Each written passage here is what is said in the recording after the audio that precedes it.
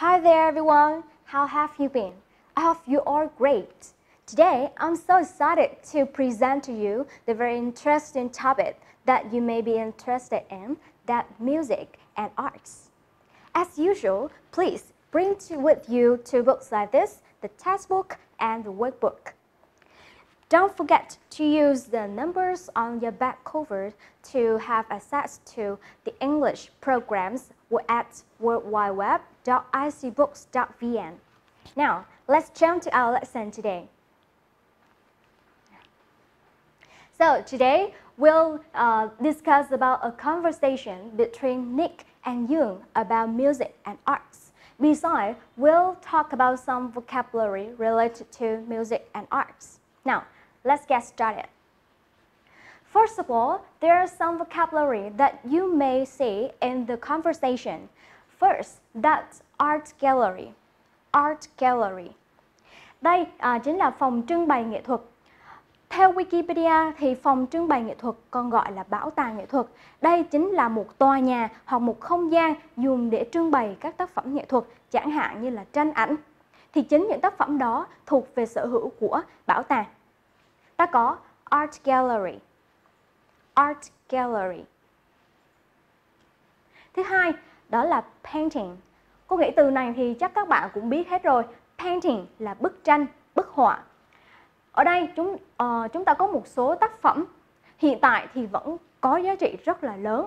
Chẳng hạn như là tác phẩm Bác Hồ của họa sĩ Phạm Văn Đôn hay là tác phẩm uh, Thiếu nữ bên hoa huệ của Tô Ngọc Vân và tác phẩm Những chú chim của Lê Phổ. Thì đối với tác phẩm này à, hiện tại nó có giá trị lên đến 625.000 đô la Hồng Kông. Tiếp theo đó là buổi hòa nhạc. Ta có concert, concert, concert. Thì theo tôi biết là gì? Buổi hòa nhạc chính là một cái buổi trình diễn trực tiếp trước số lượng khán giả đông như thế này thì buổi biểu diễn này được thực hiện bởi một ca sĩ hoặc là một ban nhạc trống hay là một đoàn ca múa. Ta có concert, buổi hòa nhạc. Tiếp theo, đó là in person, nghĩa là đích thân, trực tiếp bản thân mình làm một cái việc gì đó. Chẳng hạn cô có trích đoạn trong phần uh, hội thoại ngày hôm nay, lát nữa chúng ta sẽ tìm hiểu. Đó là gì? It's quite different to be there in person rất là khác biệt nếu như bạn đích thân đến tại đó. Thì như thế nào? The musician nhạc sĩ nè. The crowd đám đông. The colorful lights ánh sáng uh, chói lóa rực rỡ. The atmosphere không khí thì nó rất là khác biệt và sẽ tạo nên sự fantastic rất là thoải mái rất là tuyệt vời. Do đó ta có từ in person nghĩa là trực tiếp đích thân làm gì đó. Tiếp theo uh, nhạc sĩ musician. Musician. Các em lưu ý âm nhấn chúng ta sẽ thuộc vào chữ Z không đọc music nha mà sẽ là musician. Musician. Nhạc sĩ.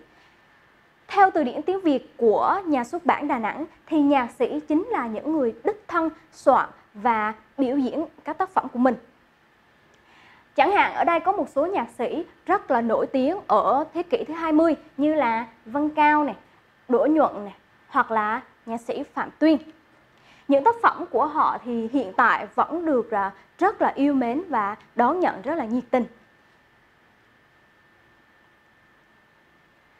Đây là một hình ảnh khá quen thuộc đúng không nào? À, chúng ta có đám đông chính là the crowd.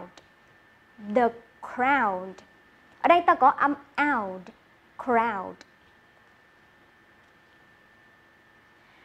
Đây là một vật khá là quen thuộc trong cuộc sống hiện nay của chúng ta rồi không nào? Máy ảnh camera. Các em lưu ý, à, từ này chỉ có hai âm tiết thôi. À, các bạn thường sẽ đọc là cam camera. Camera. Tuy nhiên, chúng ta chỉ có hai âm, đó là camera. Camera.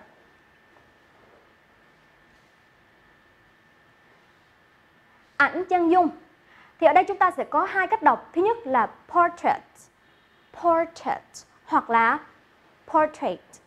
Cô hay đọc theo cách thứ hai này, portrait, portrait, chân dung. Tiếp theo đó là cọ vẽ, pen brush, pen brush. Sorry, pen brush. Âm cuối của chúng ta sẽ là âm sh, âm s dài ha. Pen brush. Pen brush. Tiếp theo đó là micro thì chúng ta sẽ có một tên ngắn gọn đó là mic đúng không nào? Rồi các em cùng nhau luyện đọc phát âm cùng với cô. Microphone. Microphone. Microphone. Tiếp đến là một dụng cụ mà các em hay sử dụng để vẽ đúng không nào? Để tô màu đúng không nào? Đó là màu tô, bút sáp màu. Ta có crayon. Crayon. Âm nhấn sẽ đi vào âm thứ nhất. Crayon. Crayon. Tiếp đến sẽ là những vở nhạc kịch. À, đây là sự kết hợp giữa uh, các uh, kịch và những bài hát. Thì ở đây ta có opera. Opera. Ba âm tiết ha. Opera. Vở nhạc kịch và cuối cùng đó là nhạc cụ musical instrument musical instrument Bây giờ chúng ta sẽ cùng nhau đến với uh, bài hội thoại trên IC Books. Getting started. One, listen and read. Bây giờ chúng ta sẽ cùng nhau uh, nhìn qua bài hội thoại và lắng nghe uh, cách người ta phát âm như thế nào.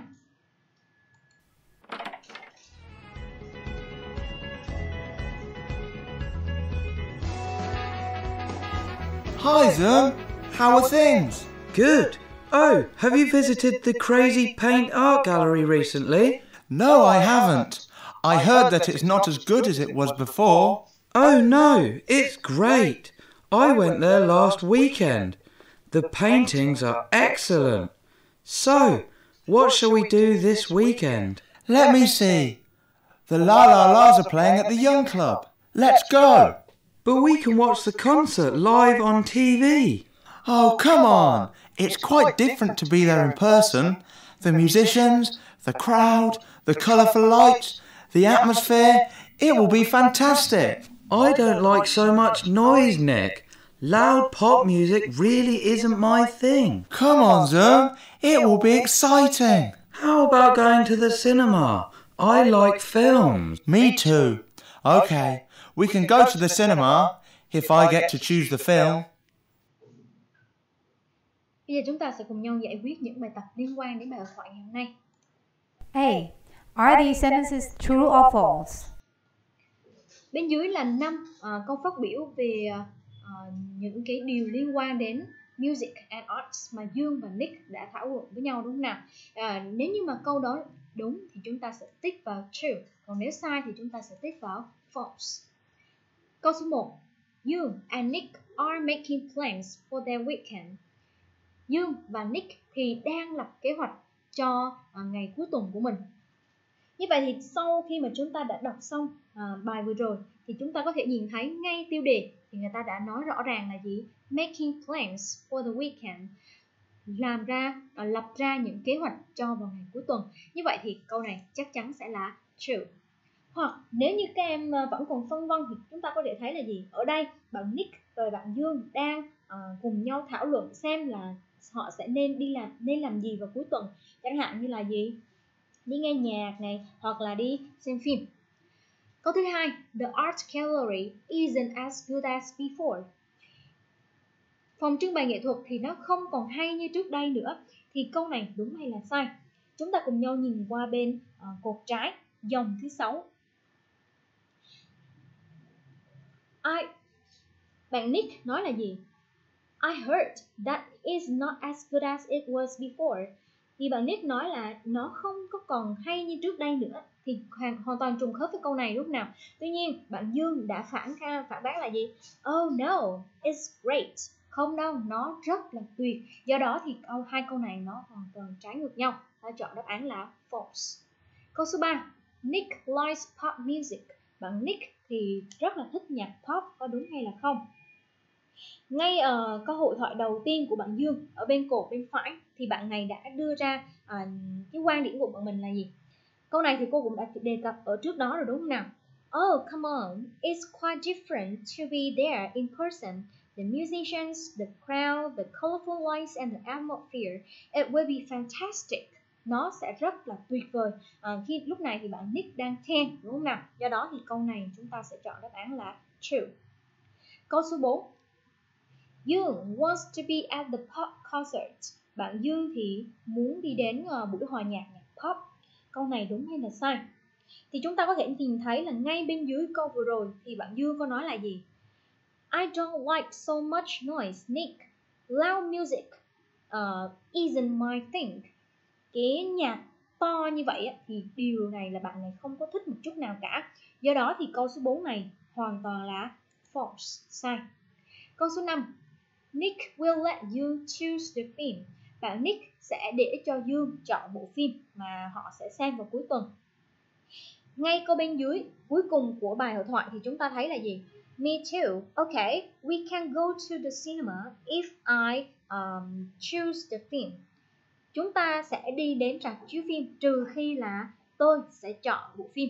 Như vậy, câu hội thoại này chính là câu của bạn Nick nói ra. Thì người chọn bộ phim sẽ là bạn Nick chứ không phải là bạn Dương. B. Finish the following sentences by writing one word phrase from the conversation. Cũng dựa vào bài hội thoại vừa rồi thì chúng ta sẽ hoàn thành 5 câu bên dưới uh, với những từ hoặc là cụm từ uh, thật là phù hợp. Đầu tiên, chúng ta sẽ có Crazy Pant R calorie is da da da before. Vậy thì ngay sau này thì chúng ta sẽ cần với một tính từ, đúng không nào? Thì như thế nào đó so với trước đây. Thì chúng ta có thể nhìn thấy là ngay dòng thứ ba à, ở bên cột bên trái, từ trên xuống dưới thì chúng ta có thể thấy là gì I heard that is not as good as it was before thì câu này chúng ta cũng đã thảo luận khi nãy rồi, đúng không nào thì cái phòng trưng bày này nó tốt hay là không tốt à, nó hoàn toàn là tốt giống y hệt như là trước đây do đó thì câu này chúng ta sẽ dùng là as good as before câu số 2 You says it is very da da da at pop concerts.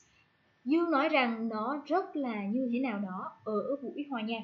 Vậy thì chúng ta sẽ tìm ở ngay những cái câu hội thoại của bạn Dương xem thử là pop concerts nó như thế nào so với bạn ấy. Thì cũng ở bên uh, dòng thứ năm từ trên xuống ở phía bên tay phải thì chúng ta cũng thấy là câu vừa rồi là gì? Loud pop music really isn't my thing. Bạn Nick à bạn Dương thì không hề thích nhạc pop nó rất là ồn ào. Do đó thì nó sẽ rất là gì? Loud. Ta sẽ sử dụng tính từ loud tương tự câu số 3 Nick thinks pop concerts are và ở đây chúng ta cũng sẽ sử dụng một tính từ đúng không nào? Hoặc là một danh từ bởi vì trước đó chúng ta có động từ to be. Bạn Nick nghĩ rằng à, buổi hòa nhạc pop á, thì như thế nào đó chúng ta cùng nhau tiếp tục à, nhìn ở bên cột bên phải ngay trên cái câu vừa rồi mà chúng ta mới vừa đọc xong. Thì câu này chúng ta đã phân tích quá nhiều rồi đúng không nào? Thì bạn Nick rất là thích nhạc pop bởi vì có à, đám đông này rất là Ờ, thú vị này, rất là vui, không khí, âm nhạc rồi đèn nữa. Thì điều đó nó sẽ tạo nên cái không khí rất là tuyệt vời ta có từ fantastic. Tuyệt vời. Tiếp tục câu số 4 Nick says it's more exciting to be at pop concerts. Nick nghĩ rằng nó thật là thú vị khi mà Ờ, đến buổi hòa nhạc này như thế nào đó. vì chúng ta chúng ta có là chủ ngữ cũng có rồi này, động từ to be cũng có rồi và sau be thì chúng ta cũng có tính từ so sánh ở dạng so sánh hơn rồi. Vậy ở đây chúng ta sẽ cần một loại từ khác. Có thể là trạng từ.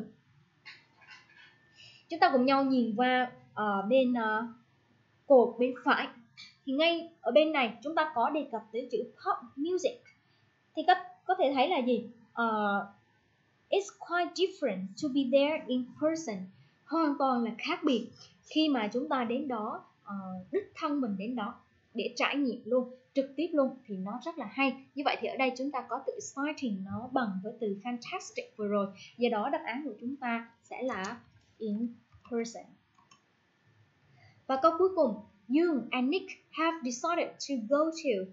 Vậy thì ở đây cuối cùng thì sau khi thảo luận với nhau thì bạn Nick và bạn Dương đã đồng ý với nhau là sẽ đi đi đến rạp chiếu phim. Go to the cinema. C. Find these expressions in the conversation. Check what I mean.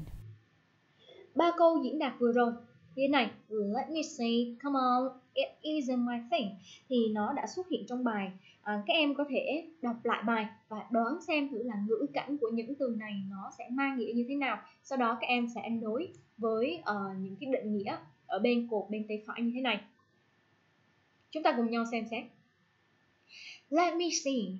Đây là một cái từ một cái câu diễn đạt dùng để uh, mang nghĩa là gì? Để tôi xem nào để tôi coi lại đã thì chúng ta cùng nhau xem xét xem. Used to show that you don't agree with that uh, what somebody has said. Mình không đồng ý với điều gì đó mà người nào đó mới vừa nói xong. Thì câu này nó không hợp lý lắm. Tiếp theo used when you are thinking what to say or reply. Sử dụng khi mà bạn uh, đang suy nghĩ đang cân nhắc xem thử là uh, nói gì và uh, trả lời như thế nào. Do đó thì câu này nó hoàn toàn phù hợp đúng không nào để tôi xem nào. Để tôi cân nhắc lại xem đã. Câu số 2 ta có come on. Come on này nó mang nghĩa là à, thôi nào à, làm ơn đi. Thì nó mang nghĩa như là à, không đồng ý với ý kiến của một người nào đó. Chẳng hạn như à, trong bài thì trong chúng ta có là gì? Bạn dương nói là nhạc pop thì không hề ừ, thích một chút nào thì bạn Nick mới nói là come on Dương thôi nào đi Dương. À, thì không hề đồng ý với ý kiến của bạn Dương. Do đó thì chúng ta sẽ sử dụng come on để mà phản bác lại không đồng tình với ý kiến của ai đó. Và câu cuối cùng hiển nhiên ta sẽ chọn câu C. Gì đó isn't my thing. Cái điều gì đó thì không phải là điều tôi thích. Thì chúng ta cũng có thể hiểu nghĩa là như là tôi không thích điều đó. Sử dụng để mà uh, thể hiện uh, sự không đồng tình uh, cái điều mà mình không thích D. Work in pairs. Make short role plays with expressions both, then practice them. Để hiểu cách dùng của ba câu diễn đạt trên, thì các em hãy hoàn thành bài hội thoại ngắn bên dưới này bằng cách sử dụng là let me see, come on hoặc là it, it isn't my thing cho phù hợp. Bây giờ chúng ta cùng nhau xem. Let's go to the cinema this Saturday. Sẽ cùng nhau ờ, đến ờ, ờ, buổi chiếu chiếu phim vào thứ bảy tuần này nhé. Thì bên dưới người ta sẽ nói là gì? I have to ask my parents first. Bạn này sẽ phải hỏi xin ý kiến của bố mẹ trước. Do đó thì ở chỗ đây, chúng ta có thể hiểu là gì? Bạn này đang cân nhắc xem thử là có đi hay không. Thì bạn này trước hết là bạn ấy muốn hỏi ý kiến của bố mẹ đã này. Tiếp theo, but what's the film? Nhưng mà xem phim gì? Hotel Transylvania 2 a cartoon xem một bộ phim hoạt hình này I don't like cartoon. Tôi không hề thích hoạt hình một chút nào. Thì ở đây bạn này đang thể hiện sự không đồng tình đúng không nào? Như vậy thì chắc chắn câu trả lời sẽ là It isn't my thing. Và cuối cùng là Come on, it will be exciting. Thôi nào, uh, hoạt hình đó sẽ rất là hay đó. Thì các em có thể luyện tập uh, nói bằng cách là sử dụng micro ở này để ghi âm lại và uh, luyện tập sử dụng cho thật là chính xác. 2. Write the correct word phrase under each of the pictures. Then listen and repeat. Ngay trước đó thì cô đã giải thích uh, những từ vựng đi kèm với những hình ảnh thật là cụ thể rồi đúng không nào? Vì bây giờ thì các em hãy tự mình nhớ lại uh, và kéo thả những từ vựng cho thật là chính xác. Chẳng hạn chúng ta sẽ có đầu tiên đó là gì? Uh, micro hoặc là người ta gọi là uh, mic đúng không nào? Microphone sau đó thì các em có thể nhấn nút Submit để kiểm tra đáp án. 3. Complete these sentences with words from 2. Trong bài tập này à, sẽ giúp các em sử dụng thật là chính xác những từ vựng mà chúng ta sẽ gặp trong bài ngày hôm nay. À, chúng ta cùng nhau xem xét câu đầu tiên. The Painters exhibition's Hidden Flower begins today at the city ở đây thì chúng ta có thể thấy là gì? Sau CT này nó sẽ đi kèm uh, có thể là một uh, danh từ đúng không nào? Thì chúng ta thấy là gì? Buổi triển lãm có tên là Hidden Flower um, nó sẽ bắt đầu ngày hôm nay tại gì đó. Thì khi mà chúng ta đề cập tới exhibition buổi triển lãm thì chúng ta có thể nghĩ ngay đến art gallery bảo tàng uh, nghệ thuật đúng không nào? Câu số 2 Bùi Xuân Phái is my favorite artist. I love his da da da of the old Hanoi streets. Vậy Bùi Xuân Phái à, là một nghệ sĩ yêu thích của tôi. à, tôi thích những bức vẽ của ông ấy về đường phố Hà Nội xưa. Như vậy thì ở đây hoàn toàn phù hợp với uh, paintings. Khi nói đến Bùi Xuân Phái thì chúng ta sẽ nghĩ ngay đến paintings, bức tranh. Câu số 3, uh, à, in Barcelona, Spain, you can visit a da da da dedicated to the life of Picasso. Khi mà chúng ta đến Barcelona của um, Tây Ban Nha thì chúng ta có thể đến thăm một cái gì đó mà nơi mà người ta sẽ sử dụng để mà thể hiện cuộc sống của uh, ông Picasso. Thì khi đọc đến đây thì chúng ta có thể thấy là gì? Uh, khi mà đến một nơi nào đó mà chúng ta sẽ được chiêm ngưỡng những uh, bức ảnh hoặc là những cái tác phẩm liên quan đến một nghệ sĩ nào đó thì thường nó sẽ là museum, viện bảo tàng. Câu tiếp theo ta có I think photography is an interesting art form. Of course, having a good da da da is important. Photography ở đây nghĩa là à, nhiếp ảnh.